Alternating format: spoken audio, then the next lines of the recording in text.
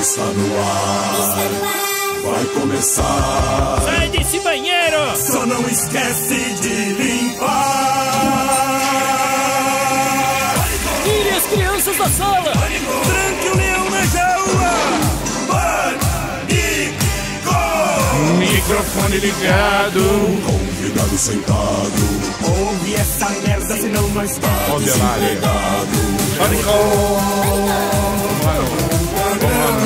Sucesso.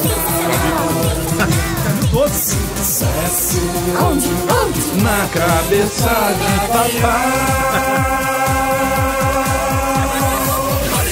É, nós ouve mesmo. Olá, meus amiguitos. Estamos de volta aqui na programação da Jovem Pan. Um abraço para todos que nos assistem. Muito obrigado. Temos aqui o nosso Robert de hoje, o Douglas Barbosa. Fala, Douglas. Bom dia, Vietnã! Esse meu teste é rock and roll. Estamos abertos aqui no Delta Tel TMZ. Muito obrigado, senhoras e senhores.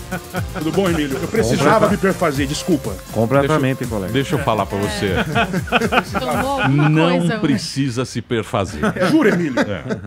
O segredo na vida, Animado. o segredo na vida é comer pelas beiradas. É, então, é que eu Mas sempre sonhei em falar essa beiradas. frase aqui, tá ligado? Bom dia, Vietnã, de um filme que você deve conhecer muito bem. Robin Williams. Robbie Williams e tal. E eu tô aqui basicamente porque eu te amo. Boa. Você, Eu te amo, Emílio. Ele tá Você, tremendo. eu sei, eu tô sentindo. Eu tô sentindo. É esse aí que dá tiro no, nos John Não. Lennon da vida. Facada. E é. você é ator? Eu sou ator, eu acabei de fazer o meu próprio filme, porque eu não sou escalado pra fazer as coisas. Acredito que o Morgado sabe como é que é isso. E Sei não. Também sabe não. A gente Não sei não, menino. Geralmente as Não pessoas sei da não. nossa É. proporção não são escaladas. tem- então é. eu mesmo fiz o meu filme baseado no Lagosta, tá ligado? Ai, Baseado em Deus. referências assim. E quem quiser, entre em contato comigo aí, arroba Batata Shows, que eu passo o link do Batata filme. Shows. É. Esse Ah, cara ele tá é em todas, ele Filme, já foi no Silvio Santos, ele tá em tudo quanto Ah, é é? lugar. Esse cara é, é O me figura carimbada. Eu tenho um canal no YouTube também, Douglas Barbosa Show, com imitações. Como que é? Douglas Barbosa Show. Eu faço eu. Ah, pessoal, eu faço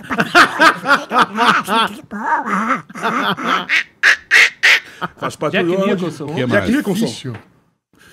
Here's Johnny. Come here, Sally. Come here. Give him the bat. Sally, light of my life. Give him the bat. Marlon Brando. Marlon Brando. You're my brother, Johnny. You're my brother. Al Pacino. You, sir, are a liar. Liar, liar. Your pants on fire. E é claro. Você sabe que se. Faltou um aí pelo que eu vi. Você sabe que o, o Moro, agora ele tá, ele tá com um negócio de crime. É, kit crime. O- Pacote que a gente crime. É, tá com pacote de pacote. crime. Se, se, eu vamos falar até com o Dória aqui. Se a Sabesp, a companhia de água, colocar uns pinguinhos de lítio na caixa d'água da cidade, dá uma resolvida.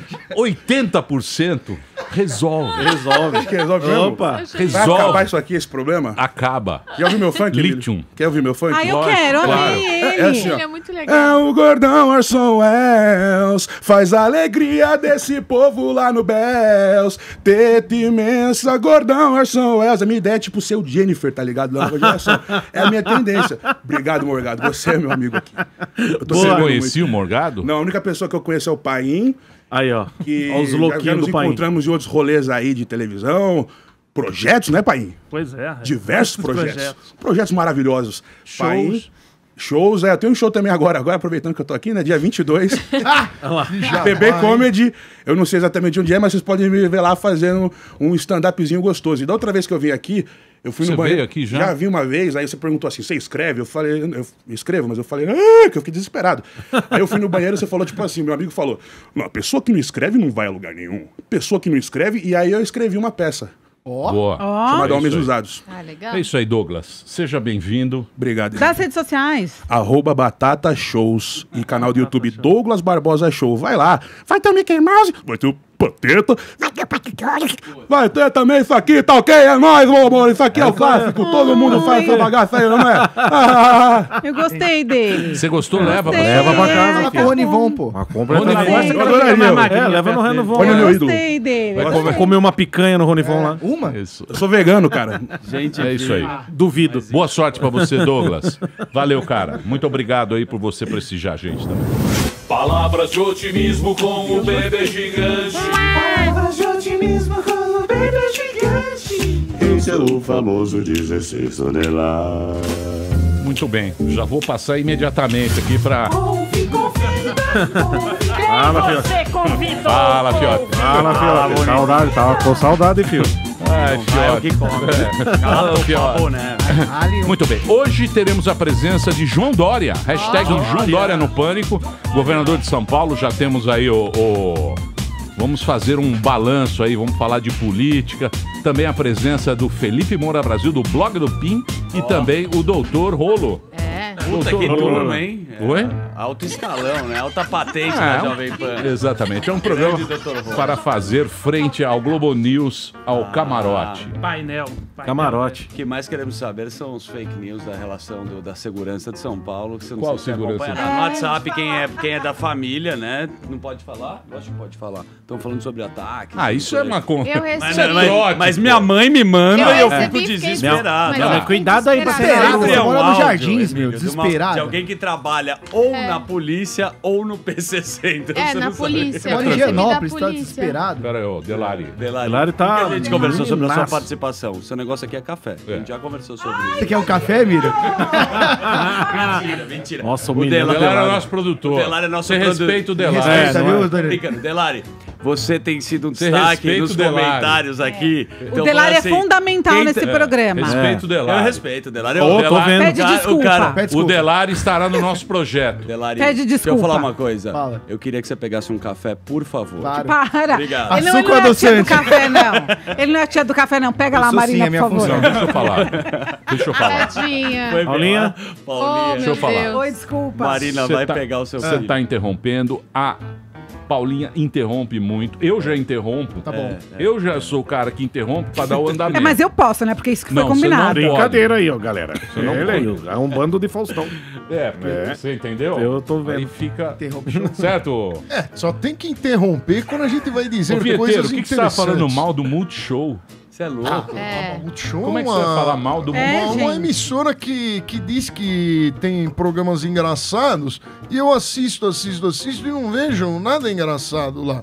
Que isso? Eu não. Nenhuma coisa Graça te nenhuma. faz rir? Não, não, não. No seu engraçado íntimo, é no seu... você. Vai que Eu já tentei assistir de todo jeito, eu nunca encontrei. É, é como procurar uma agulha no palheiro, encontrar uma piada. Kaique Luna, esse cara é Você não bom. gosta do humor do Paulo Gustavo? Paulo Gustavo. Paulo Gustavo.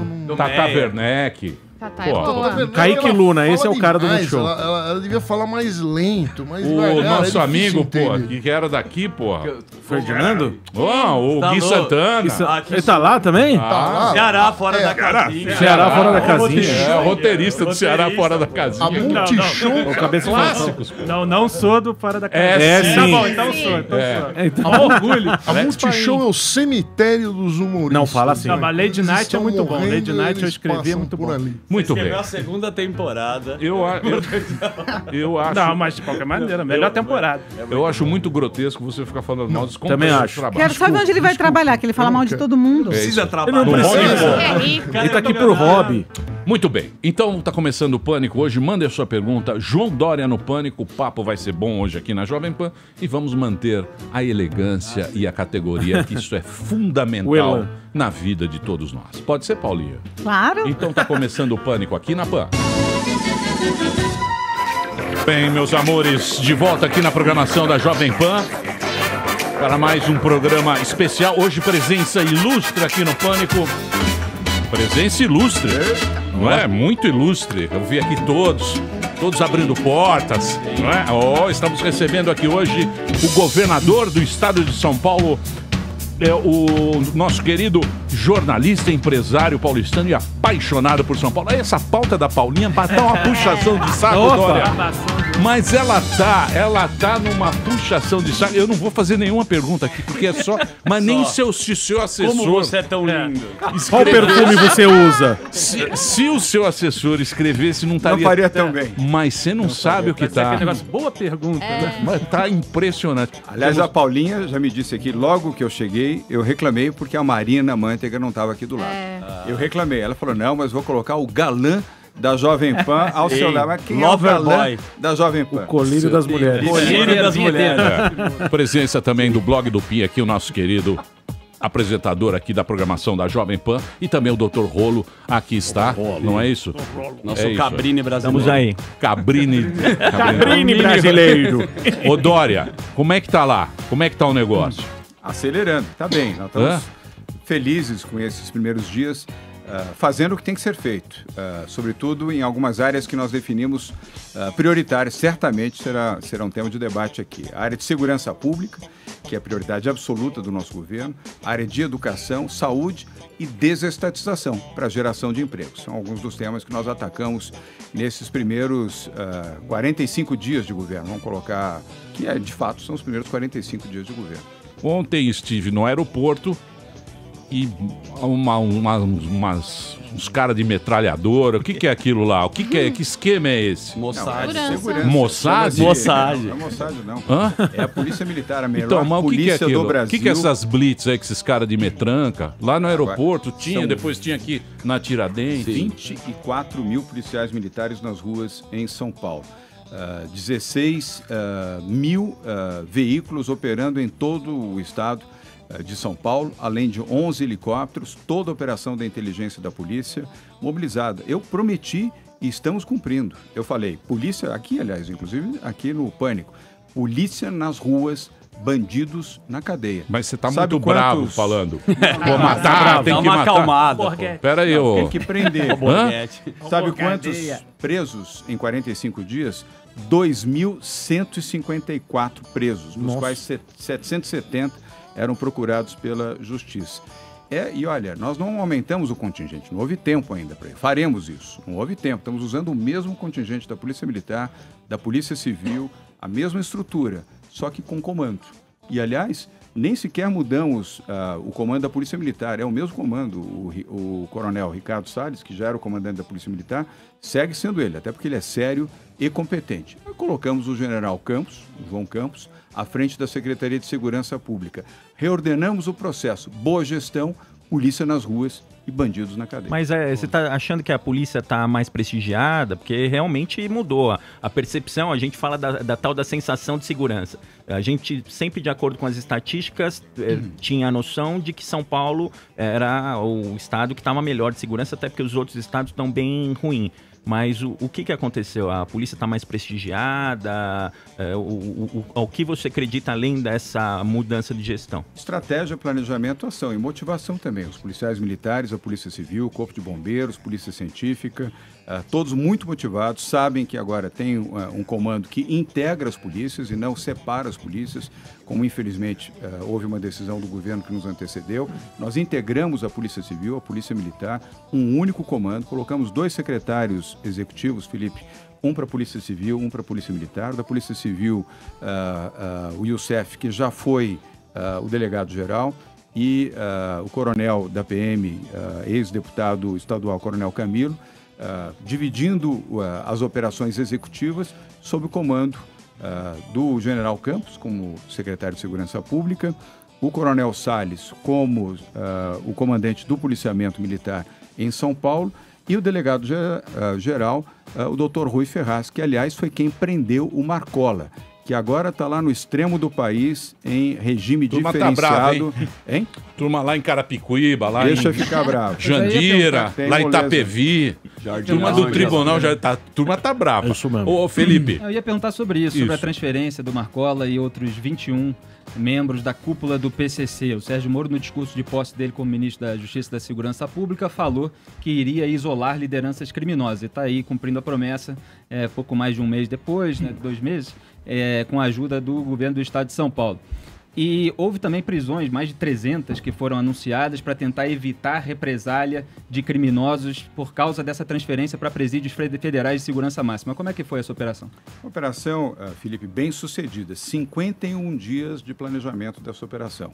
Do governo federal, através da Polícia Federal, do Ministério da Justiça, com a liderança ah, do ministro Sérgio Moro, ah, das nossas equipes de segurança, não vazou nada, absolutamente nada. Nem a Jovem Pan, que é a- a- talvez a rádio mais bem informada do país, não vazou nenhuma informação em 51 dias. Todo o planejamento feito, apenas 14 pessoas tinham a informação de quando, como e de que forma isso ocorreria e foi um êxito absoluto. Os 22, os 21 mais um Marcola, removidos para três prisões federais. Para as, as prisões ah, que possuem o regime diferenciado, como nós chamamos aqui, de isolamento, foram também todos os que poderiam ser a segunda ou a terceira geração ah, do PCC. Isolamento total, mobilização da polícia, ação da inteligência da polícia na defesa das pessoas de bem. Aqui eu prometi, estou cumprindo aquilo que prometi ah, durante a campanha. Não daríamos a menor moleza para PCC ou nenhuma outra facção criminosa. Se vocês olharem aqui e revisarem o que eu falei aqui naquele último programa, ainda na campanha, nós cumprimos a nossa obrigação. E devo muito, ah, Felipe, ao ministro Sérgio Moro, porque ele foi absolutamente positivo em todas as medidas no plano federal, seja com a Polícia Federal, seja no âmbito ah, ah, das ações que dependiam de decisão federal, inclusive Exército e FAB, para que essa operação fosse bem sucedida, como de fato Mudou foi. inclusive Boa. o regime de visitação, né, da- da- desses líderes aí. Mudou e, e- e- e com fundamento legal. Nós não estamos Uhum. descumprindo a lei, estamos seguindo rigorosamente a lei. Só que a lei está sendo cumprida. É, agora as visitas só poderão ser feitas por parlatório, né? Que é igual aqueles filmes policiais que a gente vê o visitante do preso separado por um vidro e falando no interfone ou então por videoconferência. Mas aí o cara não vai dar um salve lá, na hora que o advogado. Só até o advogado chegar, ou ele manda o salve. A gente sabe como é que funciona, né, Delari? Delari Hã? é- Ah, quem é de lá sabe. Você Mas- acha que resolve mesmo? Difícil, hein, ô governador? Quando se tem vontade, determinação e coragem, se resolve. Porque a Polícia Militar, volto a dizer, já é a melhor Polícia Militar do país. Isso não é um mérito nosso, é um mérito da Polícia Militar do Estado de São Paulo. Aliás, eu queria fazer uma correção. Uh, o nome do Coronel Salles, que eu erroneamente chamei de Ricardo Salles, coronel é Coronel Marcelo Salles. Coronel Salles, como ele é conhecido, nosso Grande comandante da Polícia Militar Posso fazer uma pergunta? Ô, Dória. Ô, pode, pode. É, é, o senhor falou aí a respeito de muitas prisões já nesse começo de governo, né? Só que a gente sabe que ah, todas as prisões estão superlotadas. Tem, o que, que você está fazendo nesse sentido e se você pretende dar uma privatizada aí nos presídios? Boa, boa pergunta. Sim, primeiro nós vamos inaugurar mais presídios até o final deste ano. Vamos, inclusive, atender o concurso para ah, aqueles que atuam no sistema prisional, são já agentes prisionais que vão atuar nesses presídios, mas eles serão já administrados pelo setor privado, exatamente como acontece ah, no Complexo Prisional de Ribeirão das Neves, em Minas Gerais, que é um exemplo em cinco anos, uma fuga, nenhuma rebelião, nenhum ah, celular encontrado, tem revistas diárias, nenhum tipo de problema e ele é administrado pelo setor privado no mesmo modelo americano. E esse é o modelo que vamos implantar aqui gradualmente em São Paulo. Isso não vai desempregar ninguém. Comentava até com o Arthur Rolo antes do início aqui do nosso programa. Ah, ah, Emílio, para que fique claro também aos agentes prisionais, não vamos desempregar ninguém. Até porque os, aqueles que têm experiência serão aproveitados. Nada melhor do que quem já tem experiência, tem vivência, para o aproveitamento dentro de um sistema privado. Ah, o coronel Nivado, Nivaldo, que já foi o comandante do policiamento militar aqui, Felipe, ele agora dirige a Secretaria do Sistema Penitenciário, a SAP, e ele, de Administração Penitenciária. Ele vai aos Estados Unidos daqui a duas semanas, vai fazer um período de treinamento nas prisões americanas, no Colorado, em Nova York, depois ele vai também à Inglaterra, seguir os mesmos modelos, o padrão internacional para o sistema penitenciário em São Paulo. E vamos abrir muito mais vagas, porque aqui não vai ter moleza, Rogério. Se tiver aqui preso, vai preso. Você está muito bem intencionado. Tá muito bravo. Não, Tá tá, bravo. tá, e tá as multas lá que você intencionado. tá dando? Os caras tão bravos com você Então, lá. Você não, tá mas- cobrando da multa. multa se corre. Ele tá dando multa. Ah, a única petista que votou em você. É. Foi a única. A Manteiga é a única Mas é vergonha. óbvio que eu votei É nele. uma vergonha. Não é vergonha. Eu não gosto queria voto. dele. Ela votou em você. Mas eu sou amiga dele, desculpa. Haddad votou Ela no votou no Haddad. Haddad, votou no ela Haddad. era secretária do. Ela Eu falei, isso tem lógico, tem Não, lógico. eu quero que ele seja presidente também agora. Ela quer ir pra Dubai com o quer ir pra Dória. Dubai, é. Quer ir na o força. Posso quebrar um pouco o protocolo, Emílio? Não, lógico que Desculpa. não. Não, eu tenho uma intimidade De com o Johnny. o Johnny é um amigo assim de longa data. Johnny, posso chamar de Johnny? Pode, pode. Johnny, E essa camisa dele? Que camisa, tá muito casual. Adorei que você tirou o blazer assim, É. você deixa a gente mais próximo. A gente tá vivendo um momento muito de fake news. Você mesmo sofreu isso, infelizmente, com aquele vídeo Maravilhoso. maravilhoso. E eu posso Aquilo afirmar. foi maravilhoso. Foi incrível. E eu posso Dória. afirmar que não foi. o- Emílio, não foi o Dória. Se fosse o Dória, teria um cronômetro. Tava muito Um zangado. exemplo, aquele, aquele vídeo lá foi um exemplo de gestão, né? Não é. apito, e tinha um apito. Tinha um teria o apito, não tinha Tá. uma fila, não tava nada Tava organizado. muito acelerado. Agora ele aprendeu a não Como lidar com esse momento de fake news? Porque nesse momento da segurança também tava chegando aqueles ah, áudios do, do WhatsApp falando do PCC, do lado da polícia. Como é que você fala sobre isso? Não, totalmente falso. Até nós esclarecemos, ah, isso foi anteontem que ah, começaram a surgir esses ah, áudios. Aliás, na sexta-feira surgiu o primeiro áudio absolutamente falso e nós esclarecemos rapidamente que se tratava de, de fake news, áudios falsos, nenhuma procedência, nem sequer foi preparado por quem quer que seja de PCC. Nós temos um monitoramento pleno ah, disso, Daniel, e esclarecemos e ficou, tanto que parou. Você viu que não, não surgiram novos áudios porque rapidamente nós ah, informamos. Aquilo era falso. Boa, Ah, mas as pessoas gostam. Que nem o seu vídeo A a gente festa, gostou né, a gente muito. vibrou. Vídeo Dória. que performance! Você não sabe. Você não sabe. Dória, você não vídeo, sabe. é que fosse meu, pô. Você não com uma sabe. plateia, né, Você não sabe o que foi aquele vídeo. Porque uns falavam assim: Sim. não, é o Dória, eu tô vendo. Sim. Aí a gente viu, você- a gente tá acostumado a fazer, você faz uma máscara Sim. ali e, Direto, e você Dá um faz. Mas aquilo foi uma baita propaganda boa. Não foi?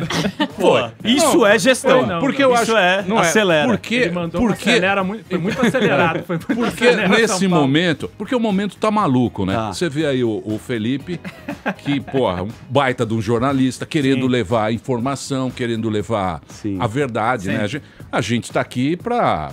Pra quê? Pra. Debater, as passar pessoas, debater e tal. Claro. Você também sofreu aí negócio, eu vi lá na, no sábado, você tava em normal. Trend Topics lá. É, não é Mas nada. isso é o quê? É fake news? é o Vídeo quê? seu Não também? é nada Não. fora do esperado. Quando a gente fala de fatos incômodos para eh, torcedores apaixonados de É. políticos, eles sempre reagem. E o jornalismo visceral. independente faz a cobertura dos fatos incômodos, seja de qual for o grupo político, seja da esquerda ou da direita. Então, Então, quando mas- havia muita militância esquerdista mentindo na imprensa, nas redes sociais, e eu refutava, todo esse pessoal que agora me critica aplaudia. Agora que a gente tenta trazer à tona é, uma história confusa, como a- aconteceram os fatos nas conversas entre Gustavo Bebiano e Jair Bolsonaro, o post do Carlos Bolsonaro, o que que estava ali conectado com a realidade, o que que não estava, essa gente chia. Então isso é absolutamente Então. normal, mas é uma minoria barulhenta, a maioria quer saber a verdade. Mas, mas, pensando bem, pensa, pô, a gente, os, Bolso, os Bolsonaro vieram aqui 40 vezes. Sim. É. A gente já sabia que, Que uma hora- que o negócio ia dar essas, essas, essas coisas. Claro, mas essa isso não é? eu comentei várias vezes durante a campanha, essa minoria barulhenta não passou despercebida, não. Sempre comentando que havia aquela parte ali que acabava desgastando muitas vezes o todo. Só que o antipetismo também foi muito forte durante a campanha. Então se agregou em torno do Bolsonaro uma série de movimentos é, e cuja essa, essa minoria barulhenta acaba desgastando, né? Então é preciso conter e ele mostrar que ele tem autoridade sobre todos os núcleos do governo dele para que possa fazer dar certo e a população continuar ao lado dele. Porque a população tem receio também com essas é, falanges mais histéricas. Complicado. O que, que você acha, ô, Dória? Você também agora tá lá. Agora é, é Bolsodória. Bolsodória. Olha, o, a minha opinião, eu até hoje de manhã, para uma outra emissora de rádio lá do Rio Grande do Sul, a Rádio Gaúcha, eu emiti. Eu acho que a situação de família não deve se misturar com a situação de governo. A coisa é família, o presidente Bolsonaro ama os seus filhos, ele já declarou isso, aliás, chama de garotos, meus garotos, etc. Isso é louvável, isso é muito bom que um pai ame os seus filhos e dedique amor aos seus filhos. O que não é razoável é os filhos interferirem no governo. Até porque os filhos, pelo menos os três que são protagonistas, têm mandato legislativo. Um é vereador, um é deputado, um é senador da República. Portanto, tem as suas câmaras legislativas, tem os seus temas para serem defendidos em nome dos seus, ah, do seu partido, que é o PSL. Misturar a família com o governo e administrar interferências em governo não é bom. E eu tenho a impressão, ah, Felipe, que ah, esta, este episódio pode servir de lição balizadora para o governo. Espero Claro, que sirva, porque se não servir, novas reverberações vão surgir e isto, como disse o Felipe Moura Brasil, não é bom para o governo. E não sendo bom para o governo, não, é bom para o Brasil. Nós não podemos ter isso agora. Nós temos um momento crucial que é a votação da reforma da Previdência, que será apresentada amanhã no Congresso Nacional. Eu mesmo sigo amanhã bem cedo para Brasília. Às nove e meia temos uma reunião com todos os governadores, são 27 governadores, os 20 líderes do Congresso Nacional, de 20 partidos, o ah, presidente da Câmara Federal, Rodrigo Maia, o presidente do Senado Federal e do Congresso, Davi Alcolumbre, o Rogério Marinho, ex-deputado, que está funcionando aqui brilhantemente como um secretário relator da reforma da Previdência, e o Paulo Guedes. Nós precisamos ter tranquilidade para discutir e votar a reforma da Previdência na Câmara e no Senado. Qualquer reverberação como essa que acaba de ocorrer não contribui para uma decisão estratégica importantíssima para o Brasil como essa. Então, eu tenho certeza que o presidente Bolsonaro e as pessoas mais próximas a ele, e quem sabe os próprios filhos também, com sensatez e equilíbrio, para isso eles não precisam se afastar do pai. Certeza, certeza. Mas, não, eu espero. Certeza, Você torce a palavra. Certeza, certeza. não Deixa sei. meu menino brincar, pô. Espero que tomem isso como referência, porque todos nós temos que torcer pelo bem do Brasil e a aprovação da reforma da Previdência é balizadora para o país. Se nós não tivermos a reforma da Previdência, ah, dificilmente nós teremos a recuperação econômica. Não havendo recupera- recuperação econômica, vamos continuar com quase 13 milhões de desempregados nas ruas. O sistema ah, de saúde pública continuará deficiente, a educação sofrendo problemas, os municípios ah, muitos quebrados, não tendo condição de recuperação fiscal, muitos governos de estados também. Então, é balizador, é fundamental que a reforma da Previdência seja discutida e votada favoravelmente no Congresso. Episódios como esse desta semana não contribuem nesse sentido. O que, que você acha, ô Felipe? Não, eu acho que tem de ser criticado agora justamente para que não aconteça de novo e não volte a prejudicar o governo, porque houve uma instabilidade nesse momento tão importante, como o governador está dizendo. É o momento de apresentação do texto da reforma da Previdência, apresentação do pacote anticrime do ministro Sérgio Moro. Não é o momento de haver uma instabilidade, uma lavagem de roupa suja em público, uma fritura que, aliás, confusa, né? Eu já fiz toda a análise. Vamos continuar fazendo para trazer todos os fatos à tona e poder passar, é, seguir o baile, né? Como o pessoal diz. Só que o jornalismo só segue o baile depois que todas as verdades já estão esclarecidas. E se a situação é confusa, se é, é, as pessoas ligadas ao governo, o próprio presidente e o FI, dizem que não falaram com é, o ministro. Quando falaram, e fica uma confusão no ar e o sujeito fica acusado de mentiroso, o filho vaza um áudio do pai presidente da República e o ministro, eh, se ele mostra para as pessoas próximas do governo o, o áudio que desmente, ele é acusado novamente de ser um X9, um infiltrado. São eh, questões que precisam ser esclarecidas para que as pessoas tenham acesso à cronologia dos fatos e para que eh, isso não volte a acontecer, que o Bolsonaro tome atitudes. Ele está sendo bem orientado, eu acho, pelos militares mais próximos. Acho que tem muita gente sensata ali, como o general Augusto Heleno, por exemplo, é, que estão recomendando que o- o- os filhos se acalmem um pouco mais, porque é preciso fazer uma transição saudável e sensata entre o ativismo e a ocupação de um cargo público ou você ser um familiar de alguém que está no governo. E essa transição está sendo muito mal feita por algumas pessoas, tanto eh, parlamentares eh, quanto membros do governo ou seus associados. Então eles precisam ter mais um respeito à liturgia do cargo. A campanha acabou. Posso fazer um É, Agora é governo. é, é. exatamente. Agora é mostrar resultado, Boa. né? Porque você pegar lá, você pega quantos dias lá? 60 dias do Bolsonaro, não teve nada. menos. Quantos? 40, 50? Falando 40 e... Hoje é dia 19. É, 49 40, dias. é, É, 49. 48. Se for operado, caiu um ministro. Só. É, e treta. E Tre- quase caiu do turismo também, É, né? é, muito É. meio ambiente pouco pode não ser caiu. também. Ó o rolo, ó. rolo- Você ficou meio triste agora, rolo. É. Muito bem. Pois não, Paim. Paim é canhota, hein? E, Vixe. Aí, ó, a camiseta vermelha. Olha lá. Isso é do Wagner Lula Moura. livre. Sou do É, PCO. amigo do Moura. Roteirista do Marighella. Marighella. Adaptei o roteiro do Marighella. Não, mas é o seguinte, o, PS, o Fernando Henrique, né, ele tá tendo uma posição, uma posição mais de oposição ao governo Bolsonaro, né? Você é mais pró-Bolsonaro. Como é que tá o PSDB? Tá tendo uma racha no partido? Qual que é a posição do PSDB em relação ao governo? Paim, eu, eu não vejo o presidente Fernando Henrique contra o presidente Bolsonaro, nem contra o governo. Eu Posição mais ele- crítica, né? É, ele tem uma visão mais crítica e ele externa isso nos artigos que redige e em algumas entrevistas que faz. Mas ele também torce pelo bem do Brasil, ele torce ah, para que o Brasil dê certo. A minha posição, como governador, eu, eu tenho uma obrigação executiva como governador ah, do maior estado brasileiro, eu tenho que torcer muito pelo Brasil e tenho que torcer para que o governo Bolsonaro dê certo. E todas as iniciativas que forem boas, ah, ah, Emílio, todas as que forem bem colocadas, Paim, terão o nosso apoio. E teremos a visão crítica também, não destrutiva, não a visão para machucar quando existirem erros, como esse que o Felipe acabou de colocar, e eu me posicionei também. Eu entendo que os filhos devam tomar isso como uma boa lição, ah, terem uma, um afastamento das decisões de governo, ah, continuarem a compor uma boa família, amorosa, afetiva, mas os filhos de um lado, o pai que é presidente da República de outro. Então, ah, sempre que em circunstâncias como essa o bom senso puder ser preservado, melhor para o país. Então, a posição do PSDB é uma posição favorável às boas medidas, como é favorável à reforma da Previdência, Paim. A bancada do PSDB na Câmara Federal e no Senado Federal vai debater, vai discutir o, o projeto que será apresentado amanhã no Congresso e votará favoravelmente. Boa. Governador, tivemos tragédias barra crimes ambientais, né? Isso porque a gente não calcula o risco. O que, que você acha disso? Temos que calcular o risco e quais riscos você está calculando?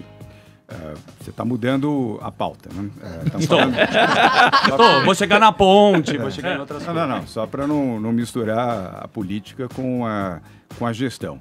É preciso ter sempre muito cuidado e muito zelo. No tema ambiental, especificamente, que você mencionou, Daniel. Obviamente que também não pode ter uma pauta que paralise o país. Aqui mesmo em São Paulo, nós estamos preservando o trabalho da CETESB, que é a Companhia de Engenharia Ambiental, tem uma estrutura competente, séria, dedicada, vinculado à Secretaria de Infraestrutura e Meio Ambiente, Marina, mas com uma orientação clara. Nós temos que ser ágeis nas aprovações. Você não pode imaginar um projeto levar quatro anos, cinco anos para ser aprovado, como nós encontramos. Isso não existe. Como é pode um projeto levar quatro a cinco anos para ah, ser decupado e haver, haver uma decisão se pode ou não pode eh, ser implantado e se pode de que forma? Nós temos que reduzir isso a um tempo muito menor, como acontece nos países civilizados que respeitam o meio ambiente. Estados Unidos, Alemanha, França, Itália, apenas para citar eh, quatro países, há o respeito ao meio ambiente, mas lá você não demora. Se alguém quer fazer uma fábrica, se alguém quer realizar algum empreendimento numa área rural, você não leva quatro anos para decidir se pode ou se não pode e de que maneira pode. Volto a Até porque essa demora inviabiliza os investimentos, Claro, né? E, totalmente. E desestimula empre- os empreendedores. E cria o conflito. O conflito não é bom. Então, é, preservar ah, o respeito ao meio ambiente, isso é importante. E assim será feito aqui em São Paulo, mas com agilidade. E hoje nós estamos no mundo da tecnologia. Nós não temos mais. Hoje você levanta um drone, o drone faz todo o levantamento que você precisa em qualquer área do estado de São Paulo ou do país. Você não precisa nem de helicóptero, nem de avião, como era no passado, para fazer o dimensionamento aéreo de uma determinada área. Então vamos usar a tecnologia ah, e trabalhar mais também, né? Fazer o expediente funcionar direito. Mas isso aí não é falta de infra, não é falta de grana? Não. Não é falta de grana? Porque os caras No falam caso o de seguinte, São Paulo, por exemplo. Então, mas os caras falam o seguinte, por exemplo, o, o- o viaduto que caiu aqui. É. Caiu o viaduto isso lá. não tem nada com o meio ambiente. Não, não. Eu sei, mas um exemplo. Mesmo Brumadinho, os caras falam, as grandes obras no Brasil, elas foram feitas anos 70 até 80. Até antes. É, antes. 60. Quando o Brasil Isso. deu, deu aquela crescida, os caras. Brasília também. Diz que Brasília também tá zoado. Vai cair aquilo lá porque não, não tem. um ministro até. porque, como não tinha dinheiro, os caras não fizeram a manutenção, que chama manutenção. Todo mundo que tem casa sabe. Tem que Uhum. trocar um soquete, muda o fusível, tal, não sei o quê. E os caras não fizeram. E agora começou a quebrar tudo. Como não fez lá, agora vai ficar caindo o viaduto, vai ficar caindo tudo. O Brasil vai, vai cair. É falta de grana ou não se olhou para isso? Ou é o jeito brasileiro, a gambiarra nossa? Vamos dar um jeitinho. Primeiro, tomara que não aconteça isso. Pode Depois, escrever. é Ah, preciso- Já teve a vidente Nossa, aqui. Emílio. Esse ano, Mas esse é ano sentido. Marte, Marte está Marte. Regendo. Marte É, regendo. regendo, o ano da É o Muita ano da guerra, guerra. muito fogo, muita guerra. briga. É. Qual, bom, é, Bom, bom, mas tudo bem. sogra. Vamos lá, vamos lá. Não quero eh, confrontar nenhuma vidente, É. nem as suas, nem a de É. outros, mas espero que isso não aconteça. Ah, qual é a melhor solução para isso, Daniel?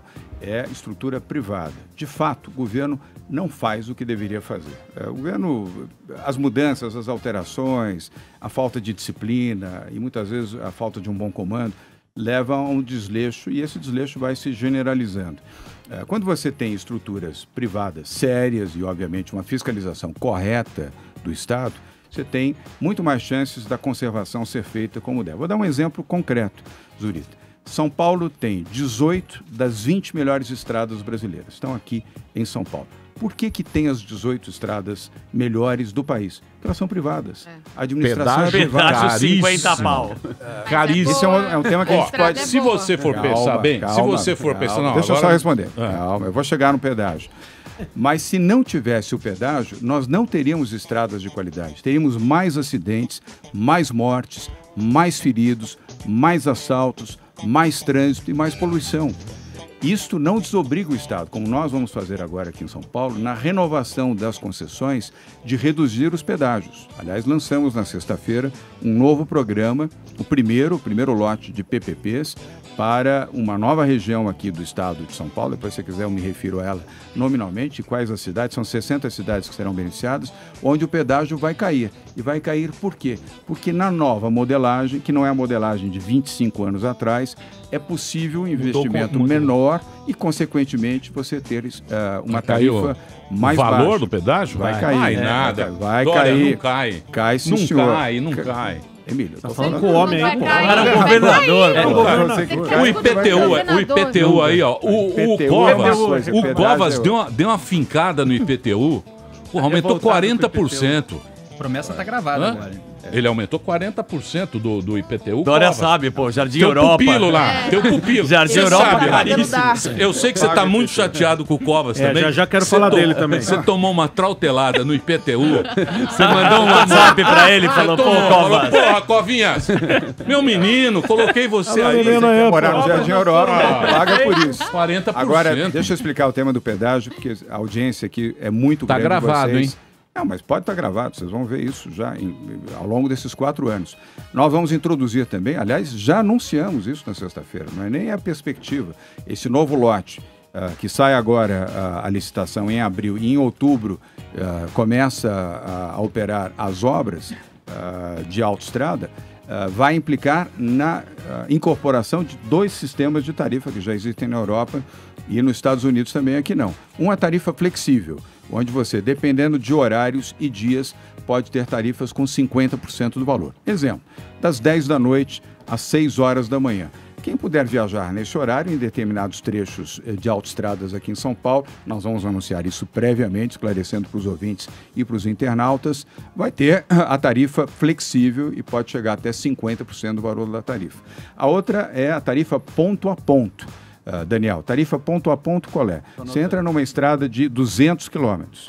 Hoje você paga o pedágio para 200 quilômetros, mas você só vai usar 40 quilômetros. Não é justo que você, por usar 40, Perfeito. pague por 200. A tarifa ponto a ponto vai estabelecer que você só vai pagar pelos 40 quilômetros que você vai percorrer. Isso será em todas as estradas. Só que nós precisamos nas renovações dos contratos, porque senão você entra numa, numa judicialização. Você não pode romper contratos. Olha, Ah. seu contrato aqui que o senhor assinou não vale mais. Eu não vou ser Dilma Rousseff, né? que fez uma bobajada enorme com, a- com o tema da energia elétrica, entre outros. À medida que os contratos forem vencendo, e todos eles vencem até 2022. Este ano, o ano que vem, 2021 e 2022. Tarifa flexível, tarifa ponto a ponto e redução de pedágio.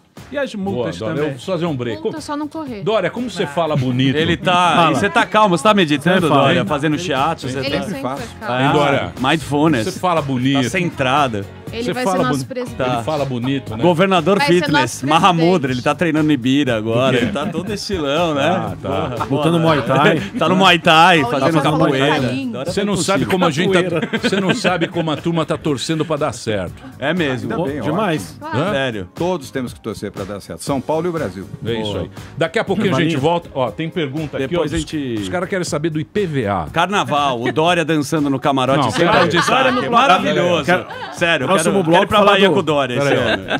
Micareta é muito É legal. o governador Eu agora. sei, mas, respeita. pô, mas não é Mas é legal, Dória? amigo. Quer falar dos Dória. Eu bloquinhos. gosto, cara. Todo mundo de. Tem que falar do Bruno Covas, que a turma tá brava também aqui. Deixa eu te falar. Não, Bruno Covas é uma decepção. O pessoal tá Carnaval, bravo. pô. Carnaval. Deixa eu falar. Porque é o seguinte, pode ver. Multa chega também rápido. Mas é só você não correr. Uma multa chega rápido. Você faz uma bobaginha, pá, ela Ué, tá lá, você é fala. correto. que- Não faça bobagem. É, eu sei, bobagem, mas o senão Mas resto. o pessoal tá bravo com outras É. coisas O, re- o, o viaduto lá, que não tinha nem o. Nem o. a planta. Pilar. Secretário da Cultura do PSOL. fala, não, não, cai o viaduto aí e fala assim: não, isso aí é culpa da, O pessoal tá bravo. da rodovia. Eu falo, não, essa obra é não sei o quê. Que deixa, Sempre- chama lá a planta. Não tem a planta. Já encontraram a planta. É um tema da Encontraram? prefeitura, E chama obra-prima. As chamam obras-primas. É obra de arte. Obras de arte. A engenharia chama obra de arte. Obras de arte. Muito bem, Dória. Pode fazer sua pergunta. Tem muita gente. Nossa, você tem uma audiência. É. É Você você. tem uma audiência espetacular. E as meninas aqui. Digital Eu, influencer. eu não sei se é você É ou se é o Felipe. É o Felipe Moura, essa combinação, essa dupla O colírio das mulheres, meu Deus. É E o Felipe tá bem. Felipe com a É fama do. Dória é um a, sucesso. com a turma do. Bolsonaro, agora tá, a turma tá impossível, né? Muito bem, daqui a pouquinho a gente volta aqui na Jovem Pan. Pode mandar sua pergunta, o governador tá aqui com a gente. A hashtag é João Dória no Pânico. Nós vai ali, volta, nós só vai ali, volta já. Pânico. Muito bem, meus amores, estamos de volta aqui na programação da Jovem Pan. Hoje o papo muito bom aqui. Estamos recebendo o nosso governador, o governador de São Paulo, João Dória, tá batendo papo com a gente. Tá aqui com o blog do PIN. E também com o nosso querido doutor Rolo, Felipe Moura Brasil, nosso jornalista, um dos melhores jornalistas do Brasil, um dos caras que sabem tudo o que está acontecendo, do antagonista. Verdade. E do- ainda por cima é bonito, né? Dizer. Sim, claro, claro. Felipe, tá se manda revelando, bala. né? Governador, o ex-presidente da República, Michel Temer, ele é investigado no inquérito dos portos. E a Procuradora-Geral da República, Raquel Dodge, eh, fez uma manifestação mostrando que tinha um esquema de propina no Porto de Santos há mais de 20 anos. Eh, e o senhor trouxe até eh, pessoas do governo do Michel Temer, mas qual é o planejamento para o Porto de Santos? Inclusive, dias atrás eu repercuti uma notícia é, que depois não acompanhei os desdobramentos, mas foi apreendida uma carga de cocaína, um caminhão é, que iria para o Porto de Santos, segundo os investigadores, pelo menos na análise inicial, e seria exportada pelo Porto de Santos é, para países europeus, se não me engano. Então, é um esquema ali de tráfico internacional de drogas e de propina com as empresas que atuam lá. O que é possível fazer para debelar isso? Vou responder em partes, eh, Felipe. Primeiro, ah, essa apreensão foi feita pela Polícia Militar do Estado de São Paulo. Meia tonelada de drogas que foram apreendidas foi o Serviço de Inteligência e o Departamento de Narcóticos da Polícia Civil, mais a Polícia Militar, foi apreendido e será incinerado, se é que já não foi. Ah, e que ia para o Porto Santos, como você colocou. O que é preciso? É privatizar. Ah, nós temos que privatizar o Porto Santos. Esse é o ponto de defesa que eu fiz junto ao presidente Jair Bolsonaro e junto ao ministro da Infraestrutura, Tarcísio Gomes. Aliás, um bom ministro, eu não conhecia, conheci recentemente, gostei dele, achei ele proativo. Ah, ele me disse que no segundo semestre esta pauta voltará ao governo, não está no primeiro semestre, eles estão realmente focados ah, nos programas já existentes e no programa da reforma da Previdência. Mas ah, o melhor caminho, aliás, o caminho ideal para o Porto de Santos é fazer o que nós vamos fazer, aliás, no Porto de São Sebastião. Nós vamos privatizar o Porto de São Sebastião, que tem a responsabilidade eh, do comando do governo do Estado de São Paulo. E aí temos um porto, primeiro, com um controle adequado, com tecnologia, com eficiência e com padrão internacional. É o maior porto da América Latina, obviamente o maior porto do país também. Imagina este porto funcionando bem.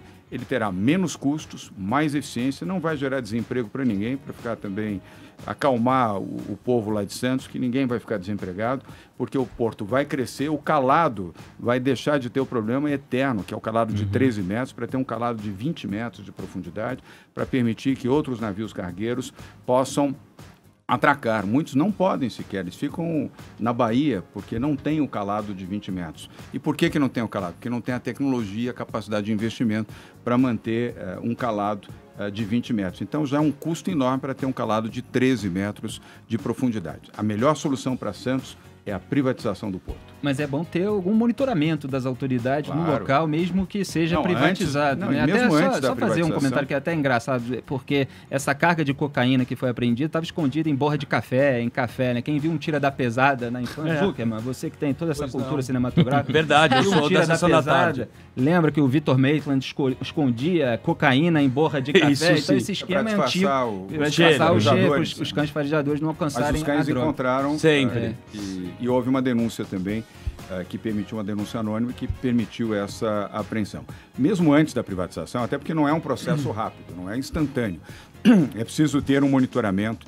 Eh, o porto é federal, obviamente o governo do estado pode eh, atuar em torno do porto, não pode atuar no porto especificamente. Mas eu percebo uma intenção eh, correta do governo federal, sob o comando do ministro Tarcísio Gomes e também da Polícia Federal, em exercer, como já estão exercendo, um controle melhor no Porto de Santos e também no Aeroporto Internacional de Guarulhos, no Aeroporto Internacional eh, do Galeão e outros aeroportos do país. Nós, Nó- bom, é, nó- nós recebemos aqui também, é, governador, o ministro do Meio Ambiente. Ele falou que um dos é, grandes problemas do Brasil, segundo ele, é a questão do saneamento básico. É, a gente está com um problema agora lá em Ilhabela, por exemplo, que está com várias praias é, sem balneabilidade por problema de esgoto, de lançamento de esgoto no mar e o esgoto está voltando para a praia. Como fazer para melhorar o saneamento básico aqui no estado de São Paulo? Arthur, é uma ação integrada. A Prefeitura de Ilhabela, que aliás é uma prefeitura que tem recursos, uma prefeitura que recebe o bônus ah, do petróleo. Ah, e, portanto, é uma, prefe- uma das raras prefeituras que tem royalties, saúde financeira por conta dos royalties do petróleo. Governo do Estado de São Paulo e governo federal também. Tem que ser uma ação ah, conjunta para que um programa de saneamento possa ser implementado e evitar que ah, o esgoto seja ah, jogado no mar. Aquela é uma ilha turística e depende disso, inclusive, para a sua sobrevivência. Todos, praticamente, que vivem em Ilhabela dependem do turismo. E aqueles que frequentam Ilhabela, minimamente, esperam um mar limpo e não um mar sujo. Então, uma ação coordenada. Governo estadual, governo municipal, Prefeitura de Ilhabela e governo federal. No que tange ao governo estadual, a orientação já dada ao secretário de Infraestrutura, Marcos Penito, é avançar no programa de saneamento e convidar, evidentemente, o governo federal com esse ministro que eu me referi, que volto a dizer que é um bom ministro, Tarcísio Gomes, e mais o prefeito de Ilhabela, que, a- que sei, eh, vem fazendo uma gestão ah, bastante razoável em Ilhabela. Não tenho detalhes, evidentemente, eu não, não tenho ah, frequentado Ilhabela, mas de amigos que estão lá ah, fazem referências positivas. Eu espero que seja realmente assim e essa ação integrada possa agir com investimento no programa de saneamento eh, em Ilhabela e no seu entorno. Igualmente também em Caraguatatuba e São, São Sebastião. Sebastião. Ô, João. pergunta. Marina Mantega, Marininha que votou nele. A petista arrependida. Gente, eu, Busca eu de um falo pai, que eu Dória. gosto A Marina dele, também fui eu. Pode arrumar um Ô, pai João, aqui. Qual que é a chance de você se candidatar a presidente da República daqui a quatro A anos? Marina só quer chupar o saco do João Não, Pera não aí, é, eu ó. conheço Que isso? sou amiga dele há Nossa muito senhora. tempo. Que Respeito, ele. E Respeita a comigo. amizade, menina. É, Olha o respeito. Sabina, ela tá acostumada ela Marina fazer queria isso tá e no joga pros vídeo, outros. entendeu? É, essa é uma, Esse aí dá- é uma canhotinha, Isso tem daí 20 se chama né? inveja. Qual que é a chance, Olha lá, João? Olha as tretinhas, Dória. Pô, tá o governador. É, respeita o governador. É. Chama- A colagem no Ei, verso aí, Eu Dade. espero que a Chance, resposta Giovana, muito assim. respeito pela Marina também. Eu Toma gosto essa. muito dela. E, obviamente, eu sei que você está brincando. Mesmo mas... sendo petista. Sim. É. O Guido Mantega, o Guido Mantega tem Mora na, minha, na frente do em meu Caracas, em Caracas, tem uma estação do metrô chamada Estação Guido Mantega. Você sabia? Só que não, vai pra lugar nenhum, né? Mas eu não misturo. Mas eu não misturo os canais. Hã? Marina é Marina. Guido é Guido. Viu? É, Bolsonaro é Bolsonaro. refiro- Bolsonaro é é Bolsonaro. amor, macaco é. Flavinho é Flavinho. Filho é filho. Carlos é Carlos. Isso aí. E o lance é um lance. Não, a, a Marina merece todo o meu respeito. Marina, não é hora da gente debater esse assunto. Nós temos que governar e governar bem. É, foi. Ah, tem muito tempo pela frente ainda. Não é um tema nem sequer para ser debatido. Ah, com todo carinho e com todo respeito. É um tema agora é gestão, fazer boa gestão à frente do governo de São Paulo, assim como o Bolsonaro fazer boa gestão à frente do governo brasileiro. É isso que nós temos que fazer. Tá, pelo menos dá pra terminar o mandato dessa vez pra, pra sair presidente. É coincide, né? O mandato coincide. São Ô Dória, anos. você que é um cara que tá lá e você é um cara, você é um cara que fala mesmo, mesmo naquela treta lá do na treta que teve lá do, do Alckmin que chorou aqui. Chorou. Na O Alckmin treta. chorou. O Alckmin tá chateado com isso. Lembra? Lembro. Chorou aqui. Quebrou um copo Chorou. aqui. Foi uma coisa Chorou, bem desagradável. chorou. Quebrou o O copo. chorou aqui, depois teve o, o França também. Sim. E você foi lá, você sentou e você falou um negócio. E você é um cara que fala mesmo. Você não, não é um cara de ficar Arrega. como todo bom tucano em cima do muro. Não, comigo não tem muro. Eu sei, a gente Tem sabe posição. disso. Isso, é isso aí. E você é um cara que vai Pode lá, gostar, você pode não gostar, Ou seja, você é chato. E eu acho que tem que ser. Não, Mas ele tá não, certo. não. É o que eu tô falando pra você. Você sabe o que eu tô falando. Você vai lá, você cobra o negócio, você quer ver a coisa funcionar. Funcionar. A gente já se conhece há muitos anos. Você, o que, que a gente precisa pro Brasil para tocar o barco? Né? Não é nem ficar a grande maravilha do mundo. São todas essas reformas que tem, que é a reforma da Previdência, a, a tributária, porque a gente tem um rombo E fiscal. a reforma política, se possível Isso. também. A gente tem um grande rombo fiscal. É muito. O dinheiro não vem mais. Daqui a pouco não vai pagar mais funcionário, não paga aposentado, não tem dinheiro para saúde, não tem. Essa é a treta, esse é o grande problema desse governo Bolsonaro. Você acha que vai vão conseguir fazer essas reformas rápidas do jeito que precisam ser feitas ou vão dar uma empurrada com a barriga? Não, acho que não vão empurrar com a barriga. Nenhuma reforma é rápida, ela precisa ser bem eh, debatida para ser bem votada, como é a reforma da Previdência. Ah, esta sim será feita, vamos dizer, no tempo certo. O tempo certo é aquilo que já foi mencionado no âmbito do Congresso Nacional pelos seus dois líderes, o Rodrigo Maia, deputado federal e presidente da Câmara, e o Davi Alcolumbre, que é o, eh, o presidente do Senado. Ambos entendem que até o início de julho seria o tempo certo para a aprovação da reforma da Previdência. Eu também acho que esse é um tempo bom. Não é longo, mas também eh, não é um tempo curto. É o tempo justo para se fazer isso. E, na sequência, as outras reformas, se possível, que venham a ser feitas. A reforma tributária, como você colocou, e depois, a- talvez a mais difícil delas, que é a política. reforma política, mas também é absolutamente necessária.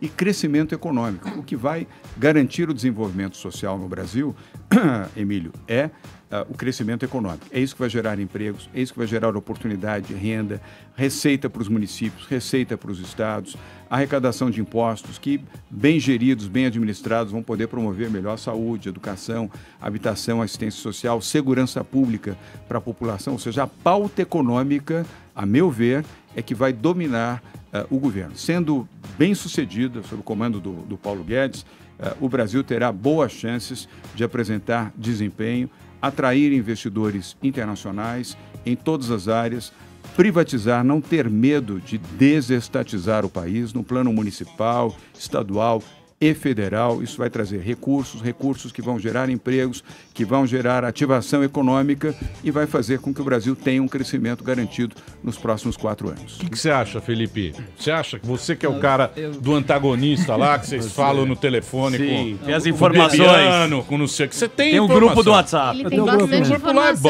informação. O que que você acha? Não, eu quero saber do governador que disse que toma posição, vou complicar ele um pouquinho. Se Boa. ele defende a idade mínima igual para mulheres em relação à dos homens. Defendo. 65 anos, igual. Você acha que tem E que ser? Ó, direto e reto, já deu na voadora. Eu acho que não. Acho que a mulher sempre Tem que ter o benefício. Que é considerada- Ladies always first. Você é o cara elegante. Não, Ladies Você paga a conta, first. abre a porta, né, Dorinho? Opa, Não é uma questão de elegância, é uma questão de igualdade. Ah, é igualdade. As mulheres, ah, não há diferenciação do ponto de vista ah, do trabalho. Ah, eu conheço mulheres com 60, 62, 63, 4, 5, 6, 70 anos, em perfeitas condições do ponto de vista mental, ah, físico, Bruna Lombardi. intelectual, de trabalho.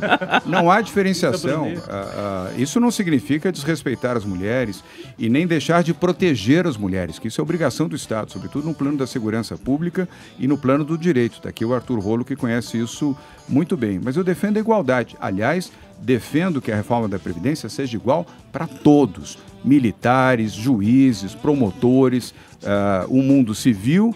Ah, e o mundo público, incluindo militares, promotores e juízes. Até porque se não ficar- pode ter reforma seletiva, a reforma tem que Se ser igual ficar para tirando todos. todo mundo, vai pelo ralo a Sim. reforma, Não né? adianta de nada. Voltando um pouco à, pauta, Difícil, né? hein? Voltando à pauta de investimento internacional, que você que é um businessman, né? Você sempre fez isso muito bem. Quando você foi para a Suíça, em Davos, ou Davos, não sei como é. Qual é a pronúncia? Davos. Davos. O que, que você falou, do, falou sobre o metrô? O que, que você quer pegar de grana lá de fora que você acha importante para eles investirem aqui? Já estamos evoluindo. Nós temos, nós temos aqui um problema sério. Ah, linhas de metrô que pararam, ah, monotrilho que parou. Ah, não dá para imaginar a obra parada. Nem vamos admitir que a obra parada vai continuar parada. Não vai continuar parada. Rodoanel. Agora, o Rodoanel tem Fura que ser concluído também. Hã? Mas o Rodoanel já tem uma solução. O problema aqui é Você o vai metrô. fazer o ferro É o anel. metrô. Ferroanel também. E É com trem, recursos né? externos. Trem. É o trem. É Ferroanel, que vai cumprir a mesma função do Rodoanel, além ah, dos trem intercidades, Emílio. Ah, São Paulo até o Vale do Paraíba, até São José dos Campos, e São Paulo até a região metropolitana de Campinas, indo até Americana. Recursos privados, 100% privados para é um programa de PPP. Você entra com a linha, eh, você disponibiliza a área específica de trilho e o setor privado investe e opera. O mesmo eh, em relação às rodovias, as demais rodovias que não estão privatizadas e os demais modais. Isso vale inclusive aqui, falando em Ilhabela, para todo o programa de balsas. Todas as balsas do litoral de São Paulo, litoral sul, ah, Baixada Santista e Litoral Norte serão privatizados. Não faz sentido o Estado ficar cuidando de balsa. Agora em Santos e vai ainda ter a mais ponte, né? E vai ter a ponte, que nós já autorizamos, inclusive, o programa, já anunciamos há três semanas o projeto da ponte ligando Santos ao Guarujá. Mas isso não vai impedir que o programa de privatização das balsas seja implementado. Então, é, esse é o, é o caminho que nós vamos seguir. Legal. Queria Só aproveitando, governador, só aproveitando Pera, que você falou de trem, é que tem uma coisa que eu não me conformo, não faz parte das pautas quentes do dia, eu ia até fazer essa pergunta, mas já que passou por esse assunto, que eu sou carioca e vim morar em São Paulo para trabalhar aqui, tenho que ficar indo de lá para cá, não é possível haver ferrovia, uma- trem Rio-São Paulo, fazer um acordo com o governador, o senhor vai no exterior, vai para a China, apresenta São Japão. Paulo, busca dinheiro lá fora, investidores, a Dilma chegou a fazer Dilma um projeto de foi- trem, trem bala, bala, né? trem bala mas que era um projeto megalômano, que provavelmente poderia ser Ia foto pro de Machu propina, que nem a Qual o ferrovia projeto custou Norte-Sul. 150 milhões de reais jogado no lixo. É, e, E tem uma empresa desse. Diz que tem uma empresa Ainda tem, do existe. trem Empresa bala da Dilma. nacional. É, É. e Estão lá em o pessoal Diadema. vai para a Europa, anda de trem, muda de país em 15 minutos, no maior conforto, e aqui não tem um sistema ferroviário decente. E o fluxo Rio-São Paulo é imenso diariamente. né? Não seria possível fazer algo nesse sentido? Felipe, possível é, mas temos que ir por etapas. Ah, não dá para fazer tudo ao mesmo tempo. Claro. A prioridade é ah, a interligação com o Vale do Paraíba e a região metropolitana de Campinas. Ah, depois de você ter esse eixo, e a bitola é a mesma, a bitola do trem, se nós chegarmos até o Vale do Paraíba, aí fica muito mais fácil você estender de São José dos Campos até o Rio de Janeiro numa segunda etapa com trens de média velocidade. Talvez não o trem de alta velocidade. O custo é muito alto e não há financiamento ah, adequado para isso. Mas o trem de média velocidade, porque aliás já essa interligação serão trens de média velocidade, portanto mais rápidos do que os trens atuais. Isso é possível. Nós temos que ir por por etapas. Agora, você tem razão, são as duas regiões mais ricas do país e não há uma ligação ferroviária adequada. Ligação ferroviária existe, até para quem está nos ouvindo aqui, nunca pegou um trem Rio-São Paulo, pode ter a sensação, ao nos ouvir aqui ou nos assistir, que não há um trem ligando Rio a São Paulo. Há um trem ligando Rio a São Paulo, mas já, mas ele não tem, evidentemente, a eficiência e nem a velocidade adequada para ser competitivo. É Ninguém de quer entrar carga, num né? trem para ficar seis, sete horas dentro de um trem. É mais fácil ele pegar um ônibus ou tentar fazer uma tarifa especial e pegar um É avião. um trem muito velho. Ou de automóvel. Sim. Tinha o trem. Eles fizeram uma época tinha o trem, trem, trem de trem prata. Lembra do trem de prata? várias vezes o trem É. de prata. Você saía à noite daqui e chegava de manhã no Rio. Jantava. É. Rio de Janeiro. Mas era meio turismo, É, né? é. Não, mas é ruim. Esse trem aqui é ruim. A gente quer um monorail. A gente quer Que trem é lá bom. do Japão, trem Do Japão, bala, né? Que vai pra Nagoya lá rapidinho. China também já A tem. China. O brasileiro só quer coisa boa. É. Wi-Fi de graça. Muito Wi-Fi. Por que, que Ó, tem que ser ruim? Tem que. Governador, Ó, estão perguntando aqui se a, se a Giovana. GESP vai mudar. Vai que que mudar, você quer, sim. ô? queria fazer uma Lá pergunta. veio de, de, Posso? veio de camisola. Você é baiana, Giovana? Não, ela é comunistinha. É, Maria é Depois te rolezeira. respondo se é a Jéssica. Ela fica no, sovaco no, azul. no posto bebendo, Dória. Ela tava lá. Ué, alguma coisa contra? Não, a gente bebe Também junto faz se seus quiser. Vai lá, vai lá. É, Depois eu te respondo, tanto se é a Jéssica. Você se posicionou que vai fazer um amplo projeto para enxugamento né, da, da máquina pública, corte de gastos e etc. E aí eu vi que você sancionou a proposta de orçamento para a gestão aqui do estado de 23 bilhões de reais. Foi 1,1 bilhão maior que a peça encaminhada pelo ex-governador Márcio França. E metade desse valor é justamente o custeamento da própria máquina. E aí, como é que fica em relação a esse corte de gastos com uma verba tão alta orçada para pagar tudo isso? São Paulo tem, ah, graças a. Aí tem que fazer justiça ao governador Geraldo Alckmin, não ao Márcio França, não, porque o Márcio França torrou o dinheiro aí em oito anos como pôde. Eh, se ficasse mais tempo, São Alckmin Paulo ia tá ter o triste. mesmo. Chorou. Tá Alckmin pescando. Tá triste contigo, hein? Tá Ah, triste, o não, Alckmin. não, mas ele foi um governador ah, correto. E do ponto de vista fiscal, ele manteve o governo do Estado de São Paulo dentro dos conformes. São Paulo não tem um problema fiscal e não terá, Giovana. Portanto, ah, São Paulo ah, obedecerá aos limites estabelecidos pela legislação do ponto de vista do custeio, o que não nos desobriga de reduzir ah, o custo da máquina pública. E por isso é que nós vamos investir em desestatização. nós vamos ter 222 projetos de desestatização.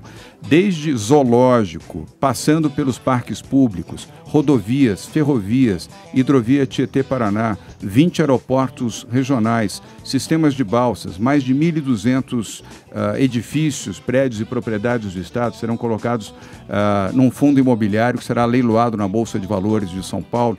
Tudo isso, apenas para citar alguns exemplos, ah, correspondem a médio prazo. Não há milagre, isso não se faz da noite para o dia, mas ao longo desses quatro anos isso vai acontecer e com isso nós vamos diminuir o custo da máquina pública, vai ter mais dinheiro para investimentos em infraestrutura, Giovana, obras e, obviamente, saúde, educação, habitação e segurança pública. CEAGESP, governador.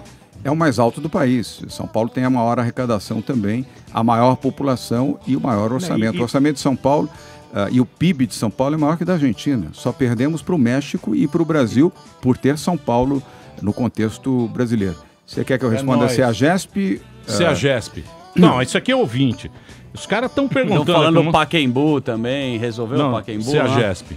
Vai Pacaembu mudar? já está resolvido. Já. Pacaembu é, Já- é, já foi. Já foi concessão. Já foi né? a concessão e houve uma medida judicial. Isso tem sempre um embate judicial, sempre vai haver ah, aos os inconformados, etc. Mas o projeto Pacaembu é bom, não fere o interesse da comunidade em torno do Pacaembu, protege, até porque ali já existe um campo de futebol. Eu sempre lembro aos insatisfeitos. Lembrem que ali é um campo de futebol, é um estádio de futebol, cabem 34 mil pessoas e quando tem jogo, tem trânsito, ah, tem automóvel, ah, tem rojão, tem grito de torcida, O tem bom é movimento. que agora o peixe vai jogar aqui mais perto da gente, né? Exatamente. E o peixe está com tudo, hein? Vamos e venhamos. tá bem, tá bem. 3 a 0 ontem em cima do Guarani. Você viu? Líder absoluto, 18 pontos, artilheiro do campeonato.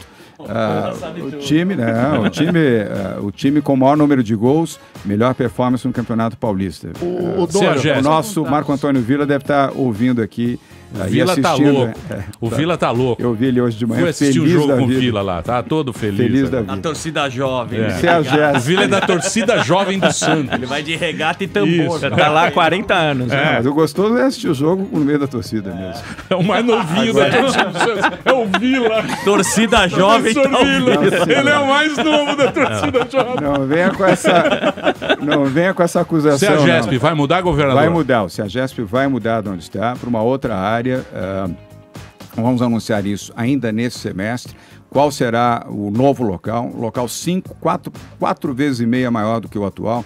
O atual tem 650 mil metros quadrados. Está pequeno, está apertado, está estreito, não funciona adequadamente, leva um trânsito enorme de caminhões para a Marginal Tietê, a Marginal Pinheiros, e o entorno do CEAGESP está muito deteriorado, inclusive com prostituição, drogas, a população em situação de rua. O CEAGESP já cumpriu o seu papel aonde está. Vai para um novo local, nós vamos, evidentemente, atender os concessionários que lá estão, nós não queremos prejudicar nenhum concessionário, tem concessionário que está lá 15, 20, 25, 30 anos, irão para um outro local. Essa é uma ação do governo municipal, Prefeitura de São Paulo, governo estadual e governo federal através do Ministério da Agricultura. Porra, o novo CEAGESP vai significar uma área melhor para a população, para uso e muito escoamento muito mais rápido da produção do maior entreposto da América Latina. O quarto maior entreposto do mundo é o CEAGESP. E no lugar do CEAGESP, Emílio, para você e os que nos acompanham aqui ah, pela internet e estão acompanhando ah, pela Rádio Jovem Pan, ali nós teremos o CIT, o Centro Internacional de Tecnologia e Inovação. Será o Vale do Silício Urbano de São Paulo nessa Você área. tinha falado Boa. isso na época da, da campanha. Sim. Sim, vamos fazer. Um assunto bem delicado, que é um problema meu, na verdade. O que você vai fazer com o Campo de Marte pra gente estacionar helicóptero? Falaram que vai acabar com o Campo de Marte, né, Emílio? Pergunta é Não boa. Não, eu tô helicóptero. preocupado, eu tô preocupado. Não, Pelo Jundiaí. amor de É. Deus, deixa A aí. pergunta ah, é boa, não é, não é uma É do questão- Tutinha, na verdade. Não é, não é. Ele soprou aí pra você. O Tutinha tá atrás dele e soprou. Daniel, faz a pergunta. O Tinha tá puto casa, com helicóptero. IPTU. Lá na sua casa. IPTU. Não parar na casa Vamos parar na casa dele. Ô, Emílio, o PTU do Tutinha é o mais alto Nossa senhora. da capital de São Paulo. Nem me fale. Ninguém ganha dele. Nem Ninguém me fale isso. Bom, é porque é o IPTU dele e das 10 ex-esposas dele. Sim. É uma coisa de louco. Isso aí é uma... Isso é uma fábrica de desespero. Desculpa, Mas nem-. Mas nem o Mas posto é- de piranga resolve o problema. Não fica zoando, a gente vaza mais um vídeo seu É. aqui, Dória? que é Jovem Pan. Brincadeira. Brincadeira. Ô, Daniel, ah, o, o campo de Marte vai ser desativado. Essa é a nossa, evidentemente, a nossa visão. Cabe ao governo federal também eh, compartilhar essa decisão e o comando da aeronáutica para pousos e decolagens de aviões. Para hélice, ou seja, para a operação de helicópteros, não. Eh, continuará operando normalmente. Não há necessidade da des- desativação dos helipontos ali existentes e nem também do sistema ah, de polícia da polícia militar que são os águias que é o grupamento aéreo da polícia militar.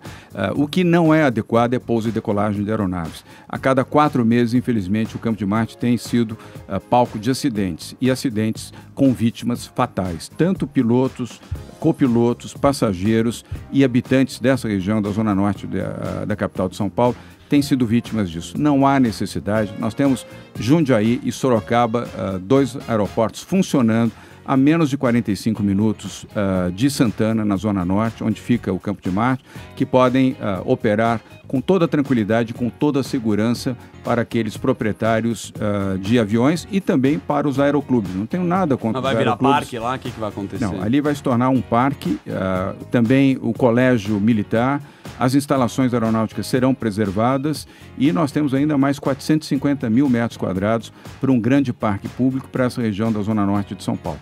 E a preservação dos hangares para pouso e decolagem de helicópteros, inclusive do Passa na sala do Tutinho depois pra gente resolver o negócio? Só a última participação Ó, aqui. eu vou fazer um break agora.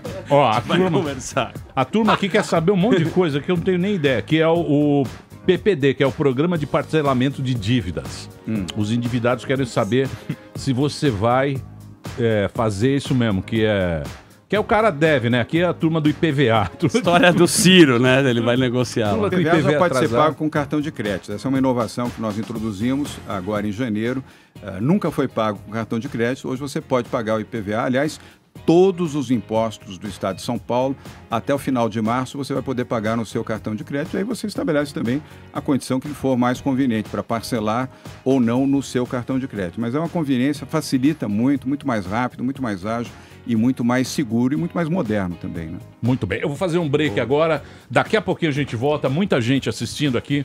Não sei se é pelo Dória ou pelo Felipe Lindo. Moura. Faz a enquete, faz Nosso a enquete. loverboy da Jovem Pan. ah, Ele tá é impossível. sucesso. Daqui a pouquinho a gente volta. Mande a sua pergunta. A hashtag é João Dória no Pânico. Já já a gente volta. Muito bem, meus queridos, de volta aqui na programação da Jovem Pan. Hoje uma presença ilustre nesse programa. Vejam vocês, o governador de São Paulo está aqui, o João Dória, conversando com a gente, falando da, da- do que ele já fez, do que ele propôs na, na- quando ele foi candidato, o que a gente vai conseguir. Estamos falando de política também, porque temos aqui Felipe Moura Brasil, esse jornalista de primeiríssima categoria aqui nos Pingos dos Is, e o nosso querido doutor Rolo, o nosso advogado para Posso fazer uma pergunta lá, Paulinho, ou Serasa não? e no SPC. É, fazer uma pergunta lá, Paulinho. E o Museu de Ipiranga, governador? O que, que vai ser feito daquele museu que é, Tá diz parado, respeito à cultura do, do Brasil? Está lá largado, literalmente caindo aos pedaços. Qual é o projeto aí do governo de São Paulo para o Museu de Ipiranga? A La Paulinha, ah, La Paulinha, Arthur, ah, nós vamos, ah, num entendimento com a Universidade de São Paulo, ah, a USP que tem a responsabilidade sobre a gestão da reforma ah, do Museu da Independência, o Museu do Ipiranga. Mas não andou na velocidade que deveria andar. Não estou fazendo com isso nenhuma acusação à Universidade de São Paulo, mas precisa ter um outro ritmo e nós já fizemos um encontro com o reitor, temos uma nova reunião nos próximos dias com o reitor, o vice-reitor, o secretário ah, de Cultura, Celso Saleitão, e a nossa sugestão é que a Universidade de São Paulo fique com a área de estudos e pesquisa e ah, uma organização social fique com a responsabilidade sobre o- a supervisão direta do governo do Estado para a capitalização de recursos para a reforma efetiva. São mais de 130 milhões de reais necessários para a reforma do Museu do Ipiranga, para que ele possa, ah, dentro de ah, ah, quatro anos, estar pronto para a celebração dos 150 anos da independência. No ritmo que está, não vai ficar. Então, essa, essa é uma alternativa. Eu me dispus a ajudar. Ah, como governador. O Sérgio Saleitão, que foi ministro ah, de cultura, da Cultura, tem muita experiência também nisso. E, e eu devo reconhecer aqui que ah, o reitor e o vice-reitor da Universidade de São Paulo foram muito cordatos e muito positivos também dentro dessa mesma ideia. Não colocaram resistência, ao contrário, entenderam que a universidade já fez um grande papel e fez todo o projeto de recuperação está pronto. E foi um trabalho bem feito pela Universidade de São Paulo. E pesquisa e estudos é a vocação natural ah, da Universidade de São Paulo, que é a melhor universidade ah, da América Latina, do país e da América Latina. Agora, o trabalho de recuperação, funding, como, como se Uhum. diz, ou seja, ah, fazer fundos e recursos para essa finalidade, não é exatamente o traquejo e a experiência da Universidade de São Paulo. Nós podemos fazer isso e vamos fazer. Eu acho que nesse novo formato ah, as obras serão aceleradas e entregaremos o museu devidamente recuperado em condições de uso e também na sua operação. A gestão da sua operação também deverá ser ah, uma organização social para que ele seja autossustentável. Você falou muito da- de privatização e tudo mais. Fora as áreas de praxe, assim, educação, saúde, segurança, o que, que você coloca, deixaria. O que, que vai continuar com o Estado, na sua opinião? Assim, o que, que você deixaria ainda com o Estado? o, o Estado tem que ter a obrigação na saúde, na educação, na habitação popular, no transporte público, segurança pública e assistência social. As pessoas em situação de rua, as pessoas ah, que infelizmente ah, são vítimas das drogas, aí é competência exclusiva ou prioritária, majoritária do Estado. No restante, setor privado como funciona no primeiro mundo. Essa é uma visão liberal que eu tenho. É assim nos Estados Unidos, é assim na Inglaterra, assim nos países na Coreia do Sul, no Japão, países que são desenvolvidos e têm um índice de desenvolvimento elevado eh, e um índice de educação altíssimo. É assim que funciona. É isso que nós vamos fazer aqui em São Paulo e eu tenho a sensação de que também no plano nacional esse é o caminho do governo Bolsonaro. Mas nem tudo vai, vai privatizar. Vai dar tempo de privatizar ou dá para privatizar agora? Se não der tudo, faremos ah, todo o possível para que o máximo seja feito. E isso seja um bom exemplo de que ah, um país desestatizado vai funcionar melhor do que um país estatal. E onde você tem menos Estado, tem menos corrupção. O que, que é um, que é um trambolho, assim? Que você vê um trambolho estatal? E ah, Interlagos?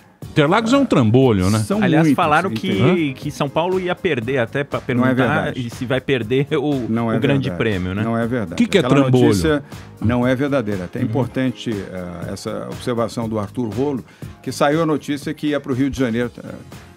A sua mãe está ligando aí. É a tia dele, a tia dele. É que Não, Mamãe tá cara aqui, os caras É querem... o Márcio França, quer fazer uma pergunta. Não, não quer nada. Os caras querem saber tudo aqui, ó. Todo mundo quer resolver problema aqui. É. Na hora, É, né? É, quer resolver tudo. Mas Tá para responder ao, ao Arthur, saiu essa notícia, não é verdadeira, saiu na, na Veja São Paulo. Aliás, a notícia não é da Veja São Paulo, é atribuída a alguém Uhum. E não é procedente. Ah, o, o governo paulista da capital de São Paulo, o governo paulistano, ah, através do Bruno, está conversando com a direção da Fórmula 1, os novos proprietários da Fórmula 1, através do Tamas, que dirige aqui no Brasil há muitos anos, ah, para a renovação do contrato. Tem mais um ano ainda de contrato, depois tem uma proposta de renovação por mais 20 anos. E o autódromo privatizado será ainda melhor para a Fórmula 1, porque ele vai sofrer reformas, complementações que ainda não Mais foram conforto, feitas, né? mais conforto, mais segurança, melhor atendimento ao público, melhor atendimento às equipes de Fórmula 1, maior segurança para os pilotos ah, e também para o público que vai assistir e acompanhar a Fórmula 1. Portanto, a privatização, aliás, é bom para esclarecer isso também, Arthur e Emílio, a privatização do autódromo não implica que ele vai deixar de existir. Ele continuará existindo como autódromo, melhorado, ampliado, sobretudo na sua capacidade de público e com melhores condições de segurança e E é atendimento. um lugar de eventos também, né? Fazem festas E lá. pode etc. haver, isso é normal. Eu fui visitar o autódromo de Abu Dhabi, aliás, fui duas vezes, que é o exemplo, aliás, é o modelo que nós eh, vamos adotar aqui para o autódromo de Interlagos, sob o comando agora do Bruno, que é o eh, prefeito da capital. O Estado não tem nenhuma interferência no autódromo de Interlagos. Governador. Mas é, é, o modelo lá de Abu Dhabi, Felipe, é o que vai ser adotado aqui. É um complexo onde você tem hotel, eh, escritórios, área de entretenimento, área de shows, área de eventos e, obviamente, eh, o espaço para grandes prêmios. É, e a Dersa, falando em privatização, porque Será extinta. tem- será extinta. Será extinta. Um abraço. Tem o episódio do Paulo Preto, que é acusado de ser Paulo Preto tá- do tá- PSDB. tá- Hoje tá com rolo uma- lá, hein? Será Rolo extinta. não, Também. rolo. Tá com rolo. O procurador da República, defendido. Roberto Pozobon, disse hoje em coletivo que o Paulo Preto, Preto, mesmo depois da deflagração da Lava Jato, não cessou sua atuação criminosa. Pelo contrário, ele é, tentou se livrar de seus ativos que ele julgava estarem protegidos na Suíça. São milhões de dólares que o Paulo Preto tinha lá, então ele era diretor é, da Dersa e agora vai ser extinta para acabar A o foco de corrupção. Será extinta. Primeiro porque ela não é necessária. Ah, e não Estatal sendo que administra as rodovias, né? É, mas não, não há necessidade. E ah, dentro desses próximos 18 meses, ela será extinta. Essa já é uma decisão de governo e não depende de Paulo Preto ser condenado, ou Paulo Preto, Paulo Branco ser condenado ou não. É uma decisão de governo. Ela, aliás, várias outras estatais também serão extintas no nosso governo. só aproveitando, eu sei que o senhor tem uma resposta decorada, mas eu quero ouvir de novo sobre um assunto que é Gilberto Kassab. O kibe das planilhas de propina, que era alvo de investigações, já o senhor o nomeou, é, sabia que ia ser foco de desgaste também para o senhor. O senhor não se arrepende de ter feito isso? E em troca do que isso foi feito? Não, Felipe, ah, ele está ah, licenciado do cargo para fazer a sua defesa. Ele não está ah, transitado em julgado. E nós temos que ter, evidentemente, esse nível de cuidado. Você não pode imaginar que alguém acusado, você já transformá-lo ah, em réu ah, transitado em julgado. E, ah, eu tenho muito zelo e apreço pela justiça. O ex-ministro e ex-prefeito Gilberto Kassab está fazendo a sua defesa, ele está licenciado, ele está distante do governo, não tem nenhuma função no governo. E eu já disse, sendo concluindo o processo e ele sendo inocentado, que é o que eu desejo, ele volta à sua posição. Se não for, não volta. Mas, ô, ô, ô, Kassab, governador, olha só. será- você não acha que não, não teria outra pessoa competente também para exercer esse papel e não ter esse desgaste de tipo, pô, você chamou o caçabão aí, pô? Não teria outra pessoa para você indicar? Para quê? pra? Apoio político que era necessário? Não, ah, Rogério, né? Rogério, é. Prazer. Ah, Rogério Moura. É o Bo- Bolsonaro. Essa é. Como é que é? É o bolão- bolão do Bolsonaro, O gordão do Bolsonaro. Essa é. Rogério, ah, aí é uma atitude ah, de governo. Ah, a atitude do governo foi: se alguém tem ah, uma denúncia, essa denúncia é consistente, ah, ela tem o direito de fazer a sua defesa, até que haja o resultado final da sentença. Se ela for inocente, ela volta a ocupar a posição. Se ela não for, não volta. É simples assim, é uma medida ah, adotada como princípio ah, básico de direito de defesa das pessoas. Se ela, ao fazer a defesa, for inocentada, volta a ocupar a função pública. Se não for, ou seja, se ela for culpada, não volta. Precisava do apoio político do partido dele? O senhor acreditava na competência dele para o O cargo? PSD é, é um dos maiores partidos ah, no Congresso Nacional, ah, tanto na Câmara quanto no Senado, e também na Câmara. Assembleia Legislativa. Ah, não, não, a presidência é, É, DEM. é DEM, do eu DEM. Mas é um partido que tem uma posição expressiva ah, e o, o Kassab é o presidente ah, do PSD.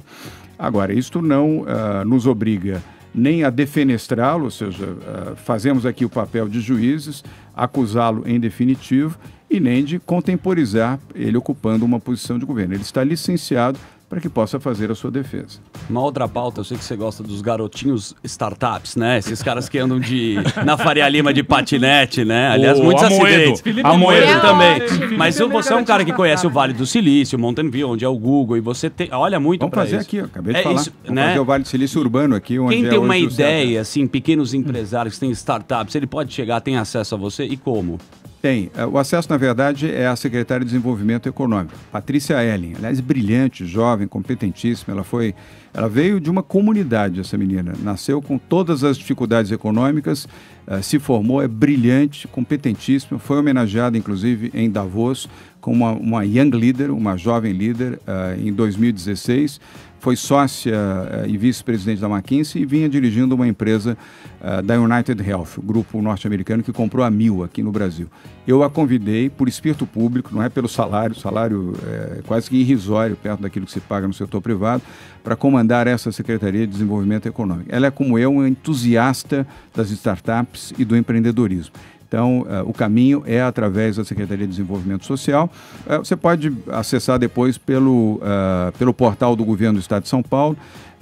e ali você vai encontrar o caminho e o acesso até a secretária Patrícia Ellen. E concurso Aliás, público? Da- É porque Ô, só nesse assunto, só um complemento, o senhor fez como prefeito de São Paulo um programa para acelerar a, a abertura de empresas. Né? O Foi. Brasil está ranqueado Empreenda numa fácil, pesquisa mundial como é, país na posição 176 em facilidade de abrir negócios. Né? Agora baixou um pouquinho, mas continua lá atrás. É, dá para estender esse programa para o Estado? Dá sim, Felipe. Nós fizemos o Empreenda Fácil aqui, é uma boa lembrança sua. Quando nós assumimos a Prefeitura de São Paulo, em janeiro de 2017, eh, Felipe e Daniel, eram necessários 126 dias para se abrir uma empresa aqui. Se a Parina Manteiga ah, fosse, for colocar, ou a Paulinha, fossem ser sócias e criar uma startup, uma empresa Pet de. É um pet shop. 126 dias para você ter a documentação para começar a operar o PSA. Quatro meses perdidos, jogados no lixo. Hoje, quatro dias você abre uma empresa em São Paulo. E a meta é dois dias. O objetivo é dois dias eh, até julho ou agosto desse ano. E a meta ideal é a meta chinesa de um dia. Isso até influenciou muito ah, nesse. ah, e quem faz isso é o, é o Banco Mundial, que tem o É. Doing Business, é o índice Doing Business. E é o Banco Mundial. Eu recebi, inclusive, em Davos, os cumprimentos do presidente do Banco Mundial por essa iniciativa do Empreenda Fácil, que eh, colocou o Brasil, acho que 25 ou 27 posições ah, melhor, graças a essa iniciativa da cidade de São Paulo. Imagine se outros fizerem isso, nós vamos conseguir eh, ser um país mais competitivo e mais atraente para negócios, sejam ah, os micronegócios, micro pequenos ah, do empreendedorismo, sejam os grandes investidores. Ô Dória, posso fazer uma pergunta? Os ouvintes aqui, tem muita pergunta. Tem uma aqui, ó, os agentes penitenciários. Você falou que você vai, vai privatizar os presídios. Quer- Eles querem saber o que vai acontecer com eles. Estão estão com a toba na mão. Peraí, calma, calma, calma. 2013, Deixa ele falar. Peraí, calma. É, É não, porque estão ligando muito aqui também para fazer essa pergunta. eu sei. Então Parece que agora um eu, como do nosso sindicato, nosso que teve um sindicato aqui dos agentes 2014 penitenciários. que não tem nada a que ver que com vai... Dória. Peraí, Paulinha, peraí. Peraí. O que, que vai acontecer com os agentes penitenciários? Diz que tem gente que fez concurso e não, não foi e tal, não sei Serão o quê. convocados. Isso. Ah, serão convocados. Até para tranquilizá-los. ah, Mas estão muito A nervosos. secretaria, não, não é, não é o caso de estarem nervosos, mas evidentemente é sempre bom esclarecer. Nós temos vários presídios para serem inaugurados esse ano, agora no segundo semestre. Para esses presídios, ah, aqueles que foram aprovados em concurso, portanto, seguiram o trâmite legal, serão convocados e vão atuar. Ah, muito provavelmente, isso ainda não há uma decisão final, mas muito provavelmente ah, com a administração feita em conjunto, Estado e setor privado. E os novos presídios que serão construídos com investimento privado, os agentes serão contratados e pagos pelo setor Ou seja, privado. não vai mandar embora os agentes penitenciários Nem que os que estão... estão, nem os que virão. Estão preocupados. Eu preciso encerrar. Eu preciso Ai, encerrar. só para terminar. Eu preciso encerrar. Desculpa, eu preciso encerrar. O governador tem muita coisa para fazer. Você vem com essas perguntas aí. Dória, muito obrigado. Muito bacana você ter voltado aqui. Eu sei Obrigado, que é complicado, e, mas você cumpriu a palavra que ia voltar aqui. Normalmente é, difícil trazer um governador, Com né? certeza. É complicado, mas, pô, os ouvintes aqui gostam do seu trabalho e estão acreditando Obrigado, na sua Emílio. gestão. Tomara que a gente vá para frente. Obrigado. Queria agradecer você, todo o time que está aqui, a bancada, vamos chamar assim, eles e elas, super obrigado. Eu sou um fã ah, do Pânico, vocês sabem disso, eu acompanho e gosto também. Acho que essa efervescência do debate, Felipe, é muito positiva, é muito boa, além de ser muito democrática também. Pensamentos distintos, ah, posições que não são iguais, contribuem para o processo democrático. Então, super obrigado pela oportunidade, gostei. Os que estão nos acompanhando aqui pela internet, eh, o nosso abraço. Os que estão acompanhando pela Jovem Pan, a MFM também, o nosso abraço, um ótimo dia e muito obrigado. Que homem televisivo. Ah, Faltou uma piscadinha pra câmera 2. Sensacional. Não acelera. Vai ali, volta, nós só vai ali, volta já. Pânico. Muito bem, amores, vamos embora? Vamos. Vamos embora. Amanhã estaremos de volta ao meio-dia, que é amanhã os humoristas. Sim, certo? Nido Badoc. É isso O aí. rei da trollagem aí. Rei da esse trollagem. cara- esse cara é sensacional. que- Os É. dois, ele e o Abdias. Muito bem. Eu vou embora. Fala, Delar. Hoje vai ter um Tangerina lá. Hoje? Vitor Sarro, hoje. Vitor Sarro no. Tangerina, no O. Henrique Minevito e o Rafa Valim. É isso, Vitor né? Sarro, Sim. Papo de Macho no YouTube. Ele É isso aí. é isso. Um abraço a todos. Amanhã estaremos de volta. Olha, tudo de bom. Terminou! Mas já terminou? Terminou! E eles não desistem! Já terminou, Vamos acabar, já está na hora de encerrar. Pra quem já almoçou, pode aproveitar e sair pra cagar. Acabou mesmo. Acabou. Acabou mesmo.